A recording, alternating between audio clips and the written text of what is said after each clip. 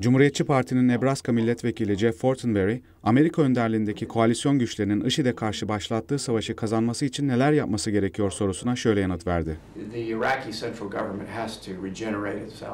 Öncelikle Irak hükümetinin kendini yenilemesi, her şeyden önce çoğulculuk ilkesinin önemini anlaması gerekiyor.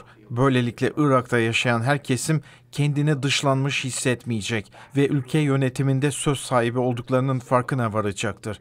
Amerika'da Irak'ı tekrar istikrara kavuşturmak ve askeri başarılarını arttırmak için ülkeye asker gönderdi. Amerika'nın yeni seçilecek başkanının Irak'ta yaşayan Sünni Arapların ülke yönetiminde yeterince söz sahibi olması için çaba sarf etmesi gerekecektir. Ben IŞİD'i yenmek için binlerce Amerikalı askerin Suriye ve Irak'a gönderilmesi önerisine kesinlikle karşıyım. Bu sorunu Orta Doğu ülkelerinin çözmesi gerekiyor. Biz liderlik yapmaya hazırız ancak özellikle Orta Doğu ülkelerinin bu sorunun üzerine kararlılıkla gitmesi gerekiyor. Ancak IŞİD bir Orta Doğu problemi olmaktan çıkarak daha çok küresel bir sorun haline geldi.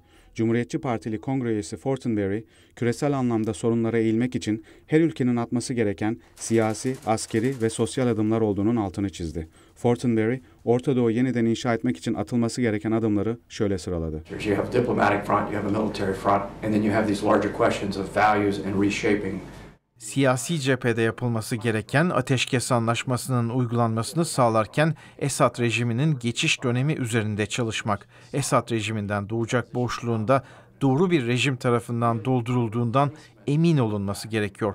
Bu da yeni göreve gelecek olan rejimin çoğulcu bir siyaset izlemesi anlamına geliyor.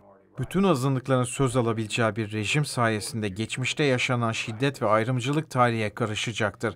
Ancak bu orta çağ vahşetini sürdüren asimetrik bir IŞİD terörü olduğu sürece hayata geçirilemez.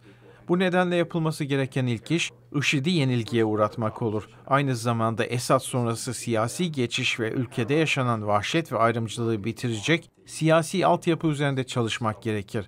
Sadece Esad'ın gitmesini istemek ve sonrasında doğacak boşluğu dolduracak bir hükümet hazırlığı yapmamak durumu daha da kötüye götürür. Bu nedenle geçiş sürecinin çok iyi değerlendirilmesi gerekiyor. Kongre üyesi Fortenberry ayrıca Suriye ve Irak'tan kaçanların insanlık dramı yaşadıklarını söylerken bu sorunun bütün dünya ülkelerinin sorumluluğunda olduğunun altını çizdi. Emre Elçi, Amerika'nın Sesi, Washington.